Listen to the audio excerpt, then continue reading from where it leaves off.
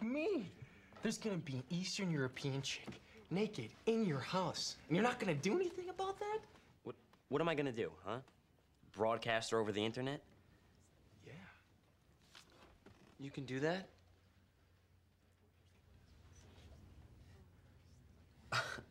no, I cannot do that to her. Jim, get some fucking balls. Man, if you don't have the guts to photograph a naked chick in your house, how the hell are you ever gonna sleep with one? I don't like the kid, but he's got a point, Jim. See? Even shitbreak knows you should do it. Now, all you gotta do is set up some sort of private link or whatever on the net and tell me the address. You can send me the address too. I'll save you a seat.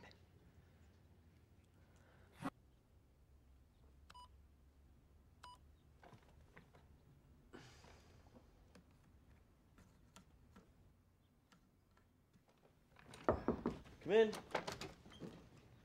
Jim, there's a, uh, a young lady here to see you. Hey, Nadia. Hi, James. Ready to study? Oh, he's always ready to study. He's a real bookworm, this kid. Dad. I mean, he's not not the, one of those nerdy guys, but Dad.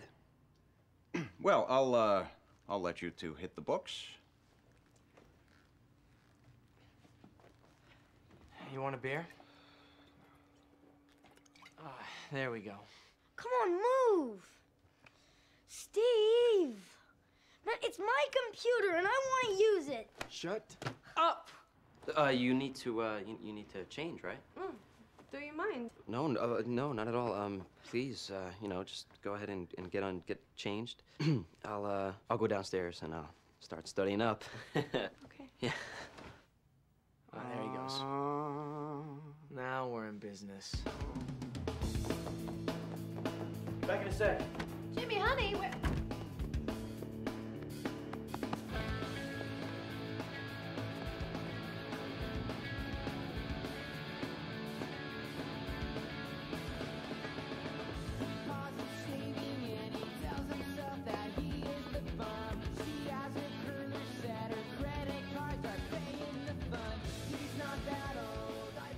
Ah, here she is.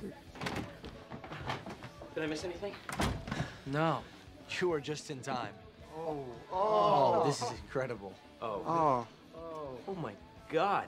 This is too much. oh, you see. Oh, there, there that goes. Whoa. Oh, jeez. God bless the internet. Ay, ay, ay.